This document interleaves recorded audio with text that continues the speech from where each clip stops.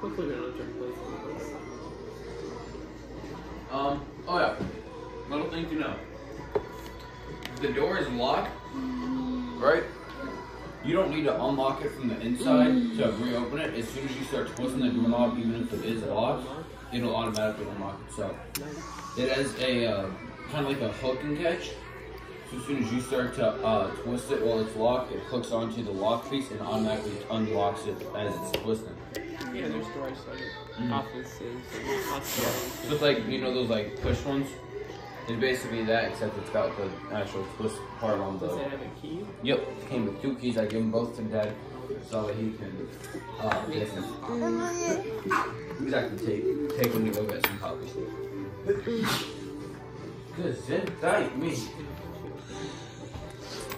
All right, I'm ready your turkey in. Alright. Sweet. And then Dad and I are gonna start wrapping presents. So you'll be pretty much I'm not here, but visiting is almost nap time. And you got we're gonna know when to put kids down for that.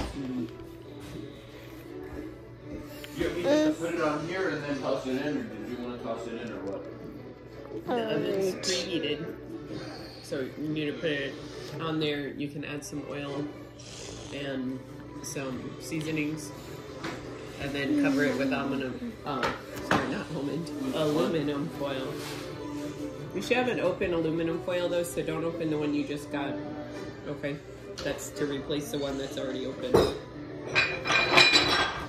Stupid jars.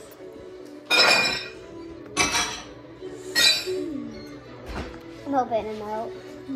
Can you? Dad wants Wilson to come home.